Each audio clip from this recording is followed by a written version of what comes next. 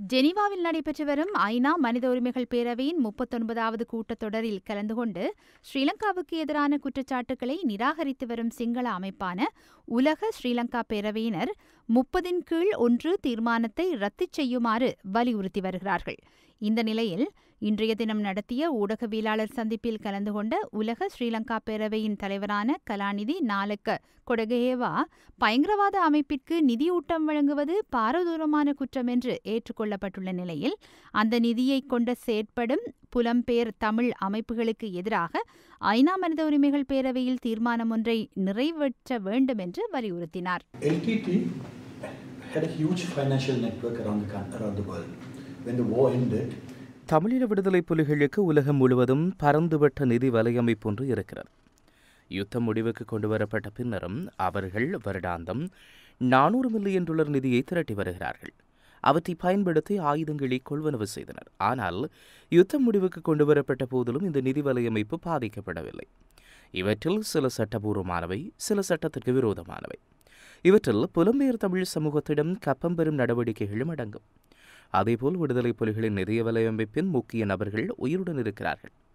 உள்நாட்டிற்குள் இருந்தவர்களே கொல்லப்பட்டனர். இந்த நிதியை கொண்டு தமது கருத்துக்களை சர்வதேச சமூகத்திற்கு கொண்டு செல்லும் பிரச்சாரத்திற்கு பயன்படுத்துகின்றனர். மேற்குலக நாடுகளின் அரசியல்வாதிகளுக்கும் அழுத்தங்களை பிரயோகித்து தமிழீழ விடுதலை புலிகளுக்கு சார்பாக பேச வைப்பதற்காகவும் இந்த நிதியை அவர்கள் பயன்படுத்தி வருகிறார்கள். யுத்தம் முடிவுக்கு கொண்டு வரப்பட்டதன் பின்னர் பதினேழு நாடுகள் இணைந்து ஐக்கிய நாடுகள் மனித உரிமைகள் பேரவைக்கு தீர்மானம் ஒன்றை கொண்டு வந்தனர் எங்களது பிரச்சினை எமது நாட்டில் முப்பது ஆண்டுகளாக யுத்தம் நீடித்தது. ஆயிரக்கணக்கான மக்கள் கொல்லப்பட்டனர் தமிழீழ விடுதலை புலிகளே தற்கொலை குண்டுதாரிகளை அறிமுகப்படுத்தினர். விடுதலை புலிகளை உலகத் தலைவர்கள் இருவரை கொன்றனர். உள்நாட்டு தலைவர்கள் இருவரையும் கொன்றனர். ஆனால் அப்போது எவரும் கதைக்க வரவில்லை. ஆனால் விடுதலை புலிகள் தோற்கடிக்கப்பட்டதன் பின்னர் மனித உரிமை மீறல் விவகாரத்தை கையிலே எடுத்து ஸ்ரீலங்காவிற்கு எதிராக தீர்மானம் நிறைவேற்றியுள்ளனர்.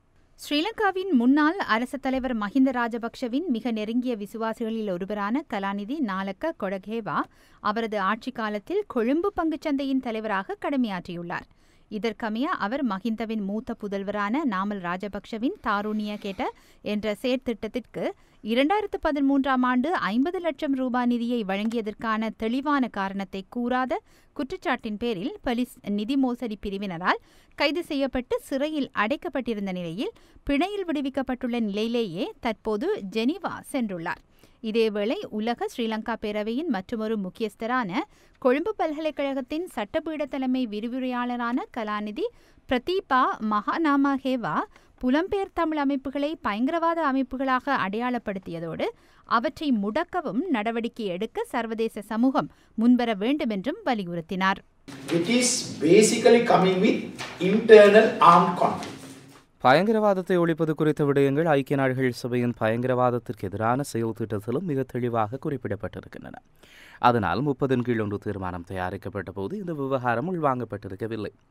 பயங்கரவாதத்துக்கு எதிராக போராடுவது என்பது முழுமையாக நீக்கப்பட்டிருக்கிறது. இதனை திருத்திக் கொள்ள ஸ்ரீலங்காவுக்கு இன்னமும் சந்தர்ப்பம் இருக்கிறது. அதனால் ஐக்கிய நாடுகள் மனித உரிமைகள் பேரவை இந்த தவறை திருத்திக் கொள்வதில் உடனடியாக தலையிட வேண்டும். இதேவேளை இந்த தீர்மானத்தை நிறைவேற்றுவதில் இணை அனுசரணை வழங்கிய அமெரிக்காவும் வெளியேறியிருக்கும் நிலையில் முப்பதின் கீழ் ஒன்று தீர்மானத்திற்கு எதிராக மற்றொரு தீர்மானத்தை நிறைவேற்றுவது அவசியம். முப்பதின் கீழ் ஒன்று தீர்மானம் இன்னமும் நடைமுறையில் இருப்பதனால் பயங்கரவாதத்துக்கு நிதியூட்டம் வழங்கிய பிரச்சினைக்கு தீர்வு காண வேண்டியது இன்றியமையாதது. இது ஸ்ரீலங்காவுக்கு உரிய பிரச்சனை மாத்திரமல்ல. இது ஒட்டுமொத்த உலகத்துடனும் தொடர்புடைய பிரச்சினை. அதனால் உலகம் முழுவதும் பெரும் அச்சுறுத்தலாக அமைந்திருக்கும் பயங்கரவாதத்தை ஒழிப்பதற்குரிய தீர்மானத்தை முன்வைக்க வேண்டும். இரண்டாயிரத்து இரண்டாம் ஆண்டுக்கு முன்னர் பயங்கரவாதத்திற்கு நிதியூட்டம் வழங்கிய பலர் இன்னமும் உயிரோடு இருக்கிறார்கள். அவர்கள் தொடர்ந்தும் பயங்கரவாதத்திற்கு துணை போகின்றனர் அவர்களுக்கு எதிராக இதுவரை எந்த ஒரு நடவடிக்கையும் எடுக்கவில்லை.